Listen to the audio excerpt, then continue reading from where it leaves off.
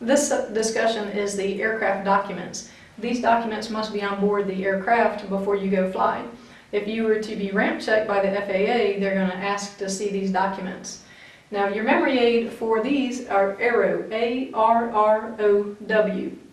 The air, the A stands for Airworthiness Certificate. The Airworthiness Certificate was issued when that plane was certified under the FAA.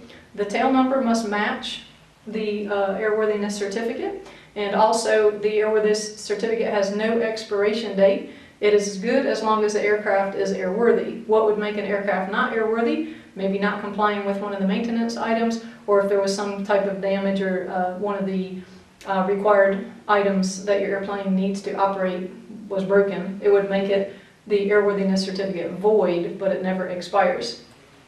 Um, the registration is to be renewed every three years, as we discussed earlier. The radio license actually is only required if you're leaving the United States. So if you're just flying around local, the radio license would not be required. But if you want to fly to the Bahamas or to Canada or something like that, you are required to uh, have a radio license. The O stands for Owner's Manual or uh, POH, Pilot Operating Handbook, or Information Manual.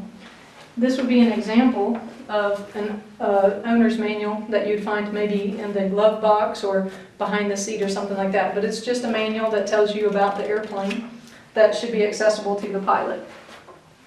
The last is the weight and balance. The weight and balance is the most current weight and balance, so the pilot can uh, calculate out, which I'm going to teach you shortly, is going to calculate out if the airplane is too nose heavy or too tail heavy or just heavy in general. So the weight, the most current weight and balance must be readily available for the pilot on the airplane.